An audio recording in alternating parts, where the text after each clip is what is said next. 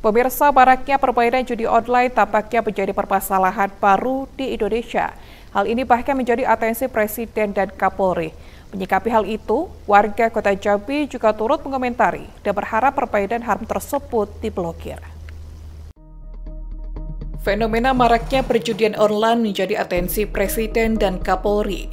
Dilansir dari YouTube resmi Sekretaris Presiden, Presiden Jokowi menekankan agar masyarakat menghindari permainan haram tersebut.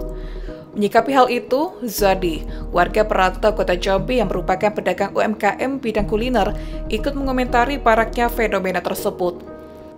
Dikatakannya saat diwawancarai reporter Jack TV dalam aktivitasnya melayani pelanggan di kerainya, kerap ditemui sekelompok budak-budi yang bermain handphone yang disinyalir merupakan judi online. Selain itu, ia yang merupakan warga kota Jambi perantau dari Batanghari ini pun melihat fenomena ini juga terjadi di kampung halamannya di Batanghari. Lanjut Zani, berdasarkan pengamatannya dalam beberapa kasus, judi online juga berpotensi membuat pemainnya berhutang ke peminjaman online. Inilah sumber dari masalah yang memungkinkan akan merambah ke aksi kriminal lainnya karena faktor terlilit hutang. Dari fenomena ini, Zani sangat mengharapkan agar aparat penegak hukum dan pihak berwenang khusus Jakominfo melakukan aksi penertiban dan pemblokiran agar fenomena judi online yang berpotensi menimbulkan aksi kriminal lainnya ini dapat diantisipasi. Selain itu, Zani juga mengharap aplikasi pinjaman online ilegal ditertibkan. Woi, resah lah bang kayak mana ya karena aduh tengoklah banyak kawan-kawan teman-teman dah banyak yang aku tuh main judi-judi online kan terus sampai-sampai pinjol gitu. Sampai banyak kan berita-berita bunuh diri kan gara-gara judol.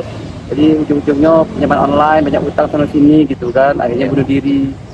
Kawan-kawan dekat aku juga gitu kan banyak yang kan utang sana utang sini gara-gara judi online gitu. Ya. bukan cowok baik kadang cewek juga gitu kan.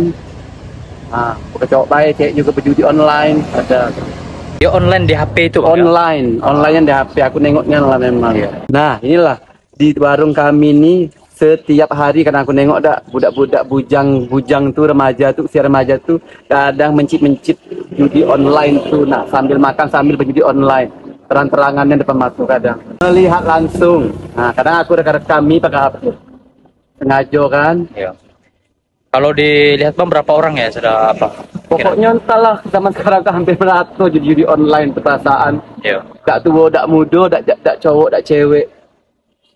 Harapan kami sebagai masyarakat Jambi ini dah tolonglah penegak hukum, pihak yang berwajib berwenang gitu kan, Bapak polisi, tolonglah diberantas judi online tuh kasihan gitu masa depan eh, anak-anak uh, bangsa negara Indonesia ini ke depannya kayak mana gitu kan. Tolong juga buat ini kan Kominfo gitu kan, tolonglah diblokir judi-judi online gitu nah kalau perlu juga pinjam-pinjam online yang ilegal itu juga gitu nah. Karena itu pasti ada sangkut pautnya dua tuh. Uh, jadi online dengan pinjaman online itu kadang-kadang. Halim Adrian, Cek TV melaporkan.